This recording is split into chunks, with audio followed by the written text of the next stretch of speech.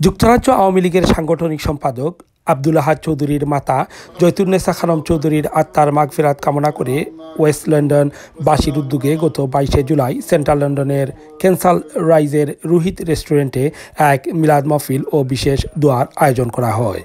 প্রথম পর্বে আলোচনা সভায় সভাপতিত্ব করেন বিশিষ্ট কমিউনিটি নেতা জনাব তারাউল ইসলাম ও পরিচালনা করেন মোহাম্মদ সাইদুর রহমান।